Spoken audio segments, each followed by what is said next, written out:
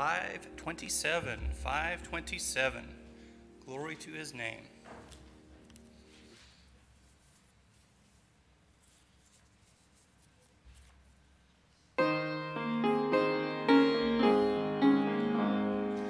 Down at the cross where my Savior died, down where for cleansing from sin I cried, there to my heart was the blood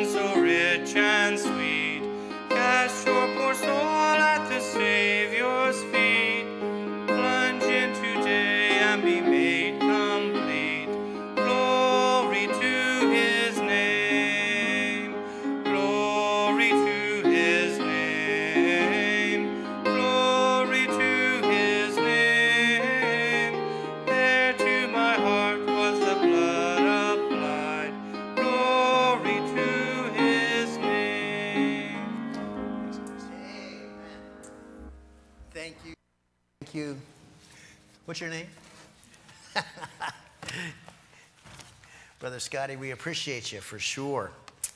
I would invite you to turn in your Bibles tonight to Genesis, Genesis chapter 6. Genesis chapter 6, actually, actually a little bit further than that, Genesis 45. I was thinking of, of uh, what I was doing last week, as a matter of fact. Genesis 45. Genesis 45.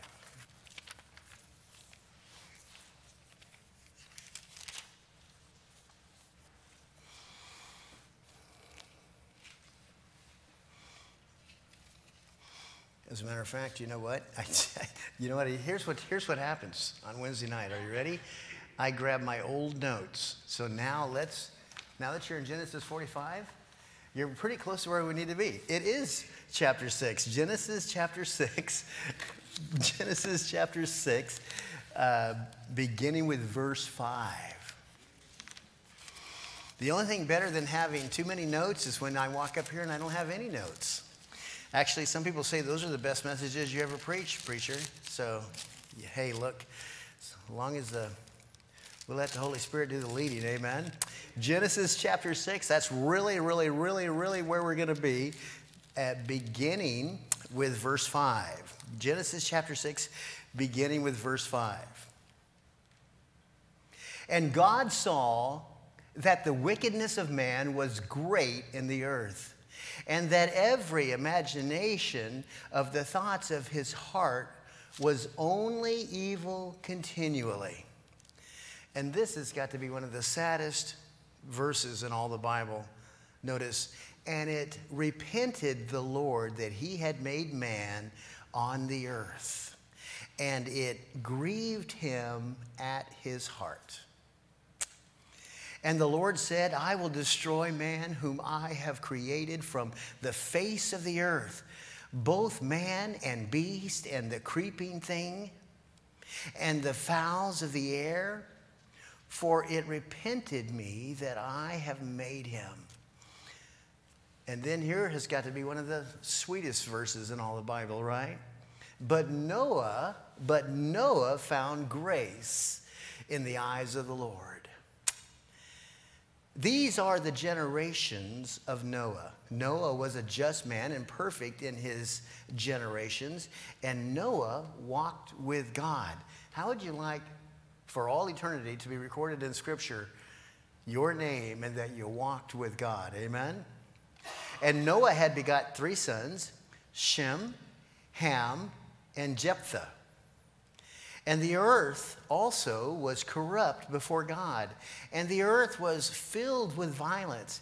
And God looked upon the earth, and behold, it was corrupt, and all flesh had corrupted his way upon the earth.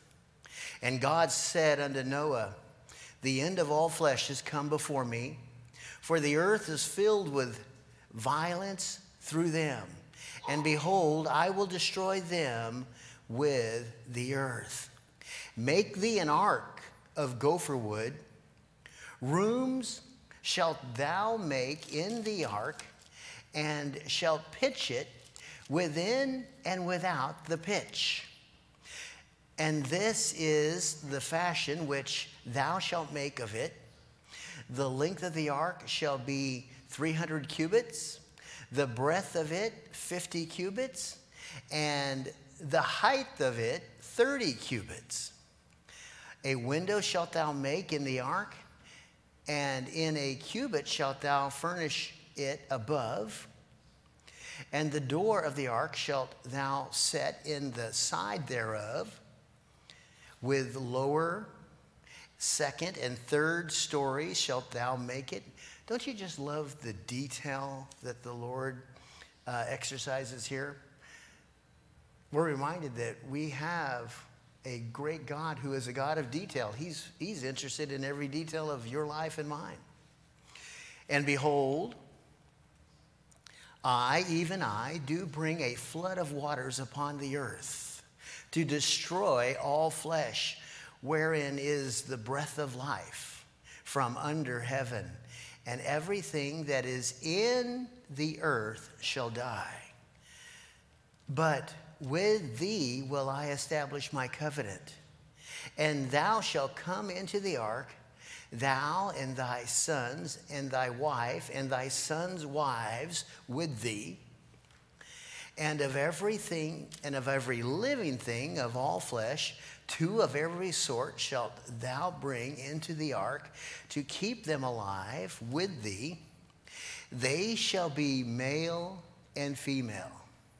Of the fowls after their kind, and of the cattle after their kind, of every creeping thing of the earth after his kind, two of every sort shall come unto thee to keep them alive. And Take thou unto thee of all food that is eaten, and thou shalt gather it to thee, and it shall be for food and for uh, thee and for them.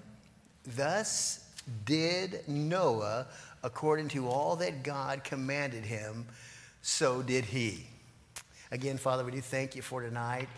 Lord, while we look at, of course, very familiar scripture, at least a very familiar story to many of us, Lord, I pray that we would just allow the Holy Spirit of God to really speak to us specifically about what it is exactly He wants to show us individually.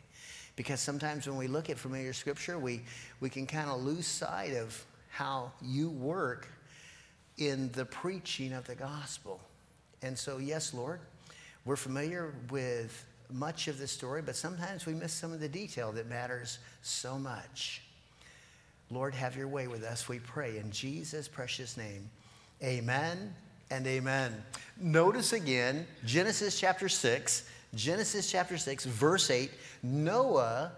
Noah found grace in the eyes of the Lord. Noah found grace in the eyes of the Lord.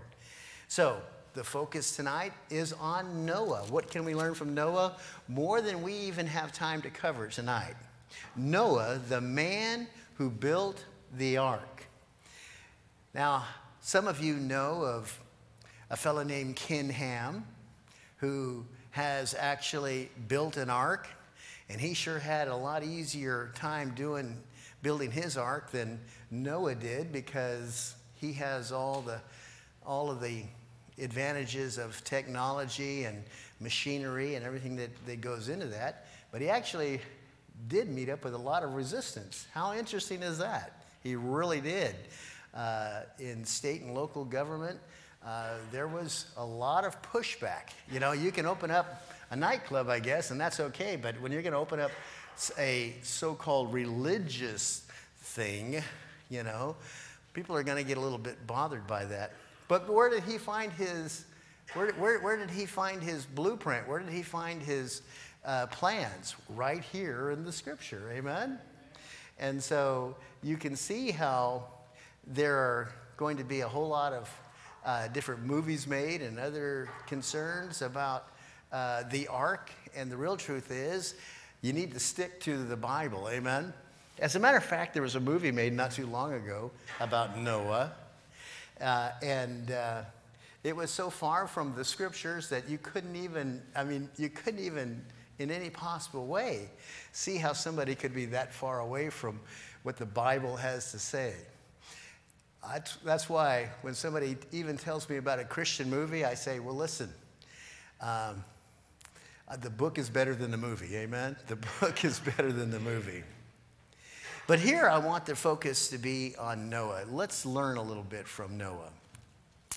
Many faithful followers of Christ long to see real spiritual awakening. Do you think that that's what the world needed then? No doubt.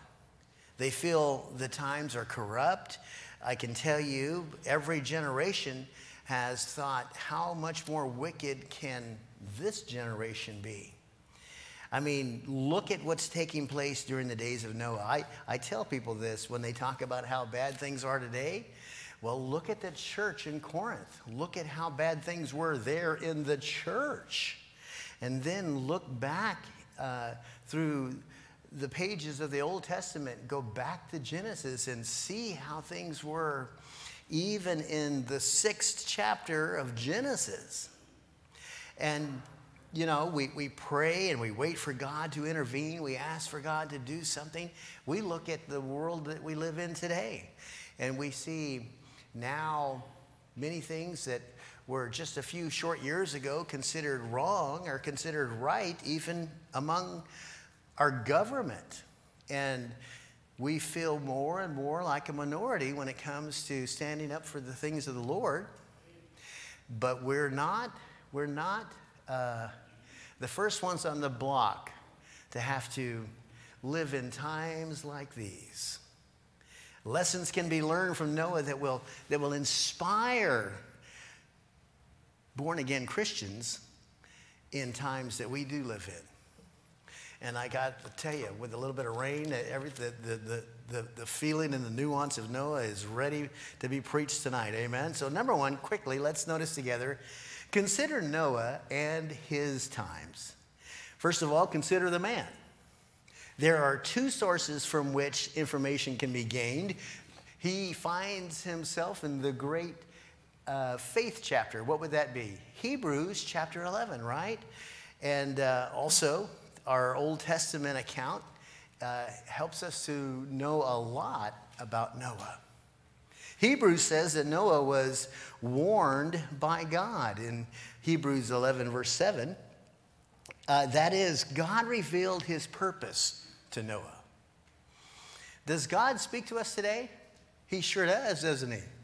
No doubt. As a matter of fact, that book that you hold in your hand, you can have complete confidence in it because it's the Word of God. Amen? Noah was moved with godly fear as he talked with him. You know, that's something that we need to remember whenever we open up the scripture, whenever we spend time in prayer, that uh, we ought to recognize that we have stepped into the presence of the Lord. We need to be careful about that casual, uh, this is no big deal kind of attitude.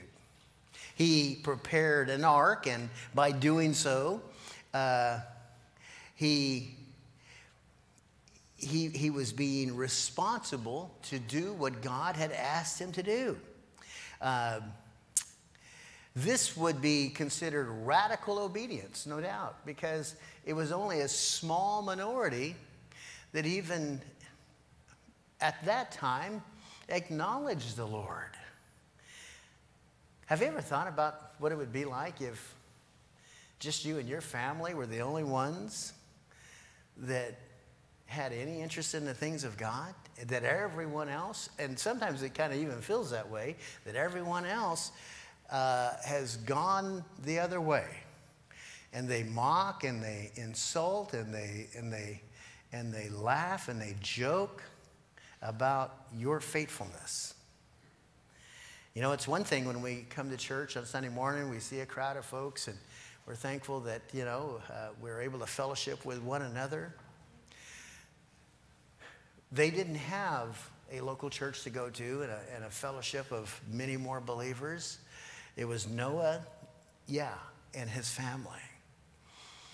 You see,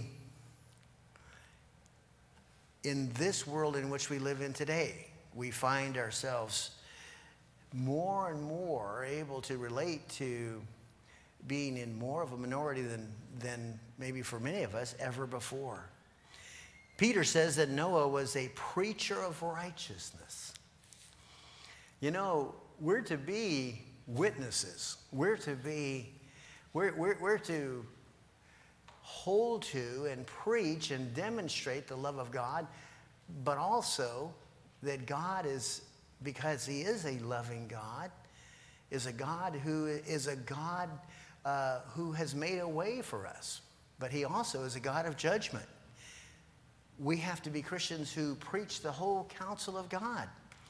And did you know that that it's the preaching and the teaching and the witnessing that matters. God is the one who gives the increase. Sometimes we, we make the mistake of placing too much focus on, on, careful about this, our results. We need to make sure that, that we're trusting the Lord. Now, that doesn't mean that we shouldn't do the very, very best that we can, no doubt about it. You know, if somebody is never sharing the gospel with anybody and then they say, well, it must not be God's will that my neighbor gets saved, I'm here to say there might be a little bit of a problem there. Amen? The Old Testament gives three characteristics of Noah. Uh, he was a just or righteous man. We read this in Ezekiel 14 14. He was perfect in his generation. This means that he was mature and sound in judgment. It doesn't mean that he was without sin, because we know that that, in fact, is not the case. He also walked with God, as Enoch did. And that, in and of itself, was absolutely amazing considering the times. And that's what we need to do next consider the times. It was a wicked time, no doubt about it. Genesis 6 5 says, God saw that the wickedness of man was great in the earth, and that every imagination of the thoughts of his heart was only evil continually. Does that sound a whole lot like the world today? Oh my, it sure does. And sadly, that sounds a whole lot like carnal Christians, people who have trusted Christ, but they're walking so far off that they look like, walk like, and talk like the world. Wickedness was so bad that God regretted even making man. I mean, think about that. Have you ever been in a situation where someone regrets the, the sin of a, a child or, or something that someone else has done that that, uh, that it grieves them so. I mean, God regretted make, having made man. Now, may I just say, my brain isn't big enough to fully comprehend and appreciate this. God is sovereign, He's on the throne, He's in control. But this demonstrates, and the focus needs to be on my sin, the sin of man. And, and recognize that, that yes, well, God is sovereign on the throne and in control, and, and God's plan ultimately is, is what is playing out here. It's for me to recognize and consider in my own heart where I'm at and, and, and, what, and what I need to do. And that's why we consider some of the lessons to be learned. And this is just a short list compared to all that can be found here. But first of all, please notice with me people are to take God at His word. Amen? People are to take God at His word. At times, humanly speaking, doing what God says to do may appear foolish, even. You know, one of the mistakes that we make too often, especially it seems like most recently, is that we almost sometimes kind of give children the idea that, well, you don't need to do what mom and dad say unless you agree with it or you completely understand it. I can tell you, when I was a kid, I didn't agree much with what they wanted me to do, but I still had to do it. Amen. And you know, that's the way we are with the Lord. You know, we uh, we try to philosophize and justify uh, His precepts and His standards, and and my Bible says that if you love me, keep my commandments. That's real simple. And the real truth is, we need to do what the Lord wants us to do, even when we don't even know for sure or completely understand why the Lord would have us to do that. You say, does that mean that, you know, if I have a dream and I'm supposed to go and, you know, um, you know, divorce my wife, that that's because God told No, no, no. None of this kind of nonsense. You have in your hand the complete Word of God. Amen? You have confidence today that from Genesis to Revelation, this is God's uh, absolute instruction book and, and, and, and, and, and book of, of counsel to you. There's, no, there, there's nothing that you have to say that has anything to do with having some kind of a new revelation.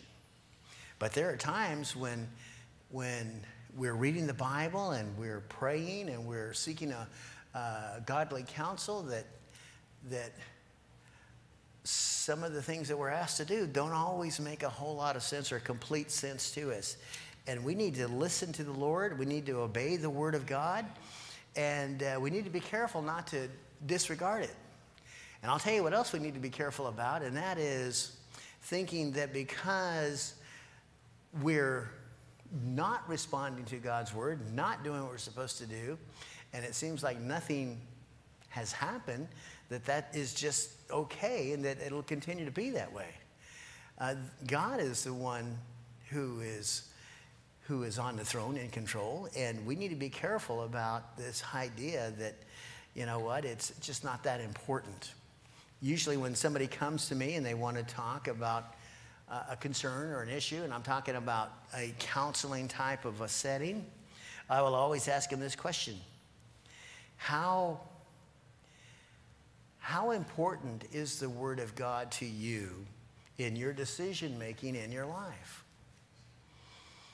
And you might think, well, every Christian's going to say, oh, yeah, they're 100%. That's what I'm all about, is whatever the Bible says. But you'd be surprised at how many people actually don't say that. And until you get to a place where you just believe that that, that has to be your highest priority, uh, you're going to treat God's precepts and you're going to treat God's teaching as maybe helpful and sometimes significant, or at least slightly, but not always, you know, 100% a high priority. And you can just see that in many cases today. Uh, over and over again, I see situations where uh, people are, I mean, even on social media, you see people posting, I love the Lord, da da da da. And then the next thing they post is completely contrary to the things of God. And I got to tell you something. Uh, it is important that we believe the Word of God, that we trust the Word of God, and that we respond to the Word of God. We're to take God at His Word. Notice God's people are not to make decisions based on the mockery of others. You know, when we talk about peer pressure, it seems like we're usually hearing that phrase used when there's a message being preached to the youth group. Amen? Can adults be struggling with peer pressure? Oh, you know it. Can you ever outgrow peer pressure? Well, the pressure is always going to be there. Your response to it, hopefully, we mature and understand uh, we're able to resist more. But I know people who, who, who really have a tough time. Maybe they're okay on Wednesday night or Sunday morning or Sunday night. Maybe they're great when they're around other Christians, when everybody's saying, hey, brother, hey, sister, sure good to see you. Praise the Lord. Hope you're having a blessed time. But then when they walk back out into the world and they again realize, hey, you know what? I'm in the minority again. I'm one of the ones who everybody looks at and thinks is a little bit odd. We need to be careful. I mean, this is probably the hardest thing Noah had to accept, no doubt. He was mocked and ridiculed by the masses who thought that building an ark was, I'm just going to use this word, stupid. What are you doing? Are you crazy? Some would even say that at this time, people didn't even have a real appreciation for what real rain was about. I mean, so can you imagine this large ship being built on land? Radical Christianity today means you're trusting the Lord, that you're actually believing God and you're doing what you believe the, what, uh, what the Lord wants you to do. And I can tell you, we, we will often even come up against others who, who say that they're Christians, who say that, you know, that, that they love the Lord. And they'll, they'll even say things like, well, you know, you really don't need to come to church. Do you? I mean, maybe once in a while. You know, like the ones that we call creasters, remember that? Those are the ones that come on Christmas and Easter, right? but the real truth is, we, we are going to always, as long as we're breathing air on this side of eternity, we're going to have, yes, even, I would say, struggling Christians and the unsaved, which, by the way, as far as I'm concerned, is the majority of the world, um, looking at everything we do the same way they looked at, at Noah. I can't believe, you know, I, I, I have family. I've been, I've, been a, I've been in ministry for 30 years, and I have family who, who think, boy, you sure, you know, you take this stuff so seriously, and you're, you know, you've been doing this for the longest time. Yet I look at, you know, what, what's happened with some of my family and their, and their children and others, and I'm thinking, I don't know, you just need to open your eyes a little bit. But the real truth is, we can appreciate how Noah felt. There are some dangers of being genuinely Christian. Well, what do I mean by that? First of all, Christian should describe the fact that you're a follower of Christ. Amen? They were called Christians first at Antioch. Amen? And that was because they demonstrated a, a, that they were following the Lord. Uh, y- when, you're, when you trust Christ as your Savior, you're saved, you're born again. It's going to be now you're walking with the Lord that's going to, it's not going to be a, a t shirt that tells everybody that you're a Christian, that shows them that you're a Christian. It's going to be your walk in relationship with the Lord. And to be genuinely Christian means to be genuinely serving the Lord, genuinely loving the Lord. And the world just can't understand that. The world, they're willing to accept maybe somebody who calls themselves a Christian, maybe like some of the so called Hollywood Christians and or some of the other nominal Christians out there but somebody who really takes a stand, who really uh, is, is willing to, you know, withstand the world, uh, the world has a tough time with. The people of the world will call you a fool. That's the truth. And the sad truth is, this may even come from family. I mean, sometimes I think we do new Christians a disservice, new believers a disservice when we don't prepare them for the fact that Jesus said, They hate me. They will, yes, they will hate you. I mean, that seems a little bit over the top, but it's the Word of God. You will be mocked. Uh, you will face tough times for choosing Christ. There's no doubt about it. And then please notice righteousness is by faith. Amen? Not by works. Paul says that we're saved by grace and not uh, uh, through faith and not of works. It is not by works of righteousness which we have done, but according to his mercy, he saved us. You know, a person can even do a lot of good things and be a, uh, a, a, a do gooder, a person who does good, but that doesn't, that, that, that doesn't mean that they're, of course, demonstrating what is the highest priority. The highest priority is having faith in the Lord, trusting the Lord, uh, getting saved, and then recognizing that your good works are just an outward manifestation of what has taken place in your heart. You see, what had to happen with Noah is what has to happen uh, for the one who wants to follow the Lord. You need to place your trust in the Lord and, and have confidence in the Lord. And it won't be your good works that get you to heaven, but it'll be obviously your faith in Jesus Christ. Can I tell you? Interestingly enough, when people understand that it's your motivation for service is your love for the Lord, it makes all the difference in the world. When somebody is, is just going through the motion and, and you know, trying to do the best that they can. When things get tough, I'm just going to say, they're going to be gone. They're going to be out the door. In our day, when there's so much we see going on violence, corruption, ungodliness uh, the Lord is, is looking for people who will do the right thing, do right because they love the Lord. And you know what? This needs to be our desire.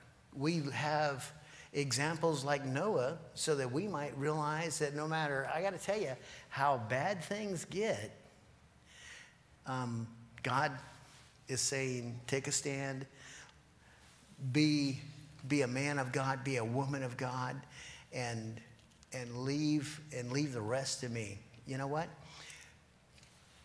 I think of my grandchildren. I still think of my children a little bit every once in a while too, but I also think of my grandchildren. And I got to tell you something. Should the Lord tarry, I think about the world that they're growing up in. And I think about how the same direction that I gave my children growing up, I, I, hope for, I hope for my grandchildren that no matter, that's right, no matter how wicked this world may get, no matter what may happen, um, Keep your eyes on the Lord. Stay focused on the Lord. Stay focused on loving Him and, and uh, serving Him. Amen? Amen. And of course, on Wednesday night, we have an opportunity to break up and do a little bit of praying together. And I think this study tonight reminds us that that work that is going on right over there in Vacation Bible School, where we have, we have folks stepping up and serving. We think of all the preparation that went into that. Think of how really a small group of people can make an impact on the lives of children. Amen? I mean, when I walked by, uh, Anel was talking to a little one, uh, and I'm here to tell you, it matters. It matters. Now, it may, it may not even be that big of a deal to a lot of people. As a matter of fact, there are more and more churches that are not doing vacation Bible school anymore. Think about that. Because it doesn't, you know, that doesn't put any money in the offering plate, I guess. I don't know what their, their motivation is. That's sad, isn't it? But I tell you what, if one precious little one gets saved through this, I say, Praise the Lord. Praise the Lord. And yes, we recognize that that little one may even come from an unsaved family, may be going right back out into a world, but we want them to know Jesus for sure. Amen? Amen. Well, let's do some praying, guys, all right? How about it? Prayer requests? Praise reports? Anybody?